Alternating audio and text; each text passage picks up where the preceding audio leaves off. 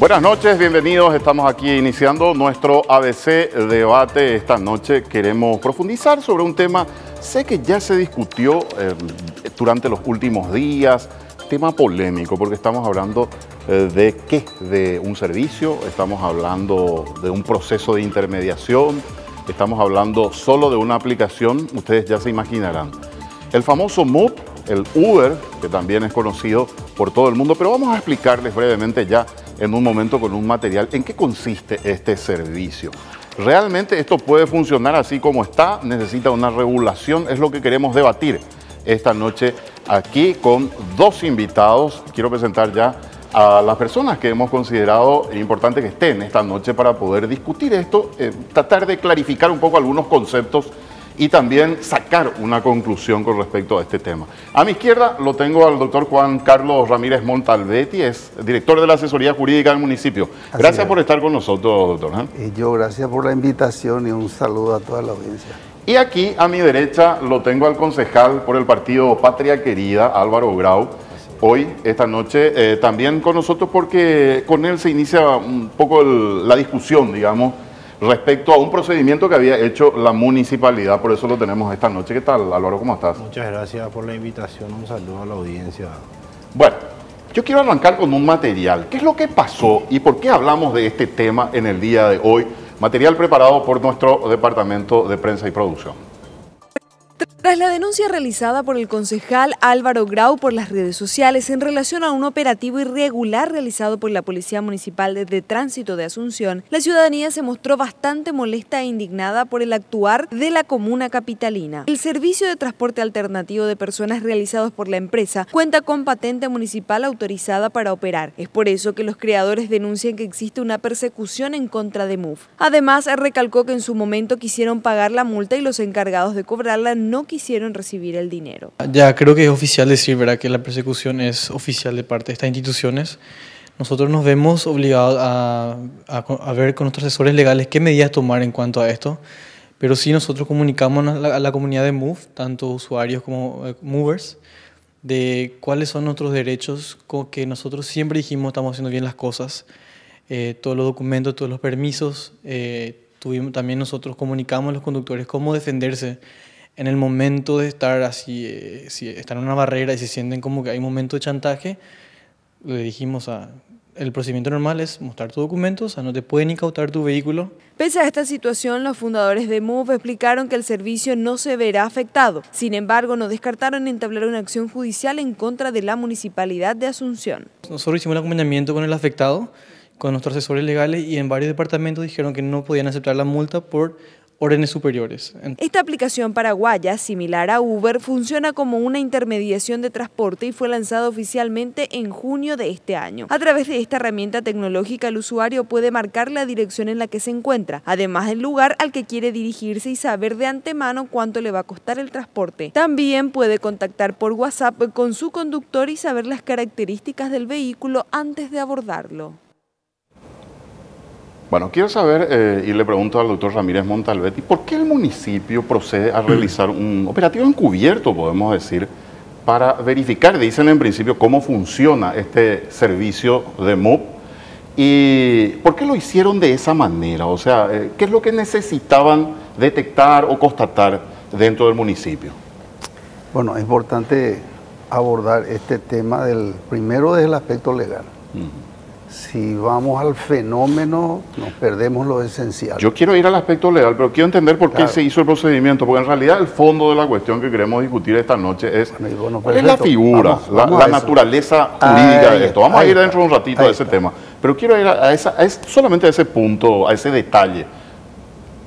Ese no es un detalle, es consecuencia de una serie de evaluaciones que hemos hecho en la municipalidad, de dictámenes en los cuales nosotros claramente señalábamos que el servicio mm, MOVE, y el, o sea, el servicio brindado por Click Sociedad Anónima, que, es, la, empresa realmente. la empresa es el, nombre, digamos, de fantasía. Es un transporte público de personas. Y el transporte público de personas tiene sus disposiciones, sobre todo una ordenanza, la ordenanza 26 del año 92, que tiene una serie de requisitos para poder transportar personas. Y hacen el operativo para chequear cómo estaba funcionando el servicio. O sea, ese es el objetivo, doctor. Porque se denunció en un momento dado. yo voy a, voy a, ir al fondo de la cuestión, no se preocupe, yo, ese es el objetivo principal y yo tengo unos apuntes sobre eso justamente, porque estuvimos indagando sobre ese tema, doctor. Pero quiero ir al hecho que eh, para mí es una cuestión secundaria, pero vamos a ir al fondo de la cuestión. Yo quiero entender por qué se monta ese operativo. Eso es lo que no me queda claro. O sea, yo necesito montar un operativo para saber que esto es un servicio de transporte público. Yo creo que no, doctor. O sea, quiero entender el fenómeno. Ahí, está el problema. el problema. Para nosotros, por aplicación de la ley 1590, que define lo que es un servicio público de transporte, es cuando se transporta personas en un vehículo y se cobra por eso. De acuerdo a la ordenanza municipal número 26, define de la siguiente manera, el servicio de transporte de personas en automóviles de alquiler es una actividad privada de interés público y la presente ordenanza tiene por finalidad regular este servicio prestado por taxis, radiotaxis y remises en el territorio de la ciudad de Asunción. Esta es la definición que nos da la definición que nos da la, la, ordenanza. Y dice, la prestación del servicio solo podrá realizarse con la obtención del permiso municipal y la habilitación del automóvil. Mm. Entonces, en, un momento vamos a entrar en ese tema, doctor, porque yo eh, quisiera entender qué es un servicio de transporte público, porque el Código Civil regula el transporte de personas, que es un servicio privado. O sea, allí es donde quiero entrar en el fondo de la cuestión después de discutir eh, concejal, ¿por qué usted hace esa denuncia con respecto a lo que hizo el municipio? Voy a cerrar un poco este círculo antes de entrar en la cuestión de fondo. ¿qué, es lo que usted se enteró y por qué hizo esa denuncia? Bueno, hay dos cosas. En primer lugar, eh, nosotros no sabíamos que existía este procedimiento irregular. Nosotros creíamos de que el procedimiento irregular fue detener este vehículo por haber cometido un giro en U, porque así sale. Vienen a nosotros, nos hacen esa denuncia nos muestran el acta de intervención que incluso no, no, hacía mención a que el vehículo fue demorado y fue llevado al corralón. Entonces, nosotros vamos preocupados, nos apersonamos en el falta, eh, no tenían todavía el expediente, eh, tenía que venir, hablamos con la gente de PMT, ¿verdad? Queríamos entender un poquitito porque de repente vimos que podía ser algún tipo de abuso de poder o algún mal procedimiento. Al día siguiente nos llega una información de, de una fuente, ¿verdad? Que no podemos decir, eh, de la foto de este manual de procedimiento, entre comillas, que fue lo que yo eh, publiqué en las redes sociales. Y ahí sí nos vamos a la dirección de transporte a hablar con el señor Florentín Jiménez, que es el, firmante de este manual, y el señor Luis María Pereira, que es el jefe del señor Florentín, ¿verdad? Entonces, eh, discutiendo un poco la existencia de eso y el por qué, ¿verdad? Y también nota de por medio eh, yo estoy como presidente de la comisión de investigación en la, en la Junta Municipal y tengo justamente el poder de acceder a cualquier tipo de documentos eh, dentro de la Intendencia y la Junta. no estaban enterados en la Junta Municipal de la existencia de este manual? No, no, no, para nada. Se hizo ¿Y, ¿Y es obligatorio que estén enterados, concejal? Y sí, por supuesto, por supuesto que sí, porque ellos están efectuando, o sea, ellos están tomando atribuciones que no le corresponde, ¿verdad? Que es crear normativas ¿verdad? O ellos pueden crear la normativa, pero tienen que enviar a la Junta para que nosotros aprobemos previo estudio y luego que la Intendencia sancione eso, eh, promulgue. Eso es, eh, eso es cierto, doctor. O sea, el municipio de por sí no puede crear este tipo de, procedimientos. Todo vehículo que circula tiene que estar en determinadas circunstancias con un conductor que tiene que tener o licencia privada o licencia profesional. En este caso estamos transportando personas. Para nosotros, por definición legal, y porque el propio Villagra Mafiodo, al comentar el artículo 904 del Código Civil, habla de servicios privados reglamentados. La, expresión, la expresión literal del profesor Villagra es servicio privado reglamentado.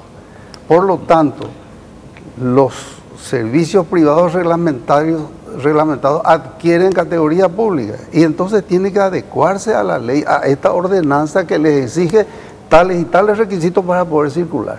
Pero esa ordenanza no hace mención a este tipo de aplicaciones. Y eso es lo que en febrero se quiso regular mediante ordenanza pedido de Sebastián Villarejo. Claro.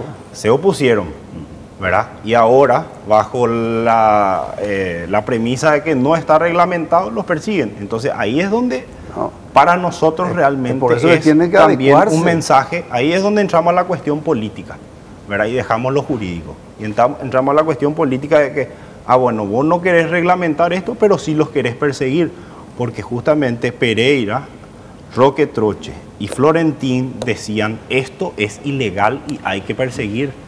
Yo, eh, una cosa, doctor, yo estuve revisando los archivos de ABC y encontré una publicación de febrero de este año en la que usted decía de que hay un vacío legal con respecto a este tema concreto claro, eh, del por el tema, y del Uber. Por el tema del uso de la plataforma está el vacío legal.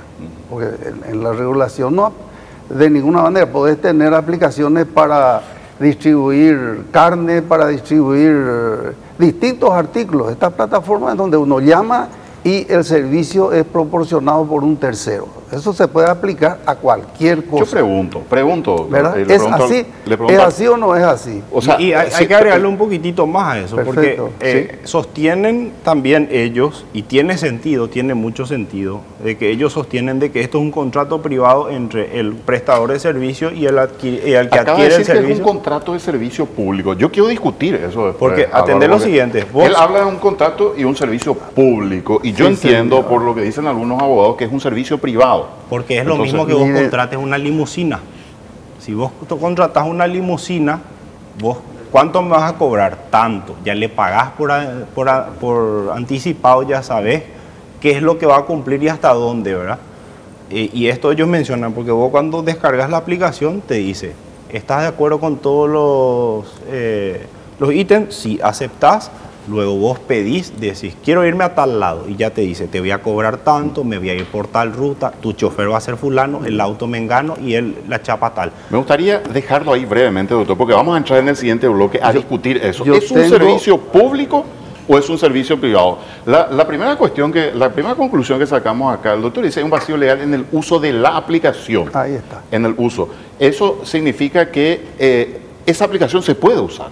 O sea que no hay ninguna restricción legal para usar la aplicación. No, ninguna restricción. Ahora, la pregunta que yo quiero dejar flotando es, eh, ¿yo puedo ofrecer un servicio? O sea, ¿yo puedo salir con mi auto hoy y ofrecer un servicio en la calle a la gente que necesite de mi servicio? Yo necesito autorización del municipio, del, Estado paraguayo, central. Eh, ¿Puedo hacer eso o no? Es la pregunta que yo quisiera dejar flotando, porque eso va a definir un poquitito si es un transporte público o privado. Vamos a la pausa y enseguida estamos con más ABC Debate.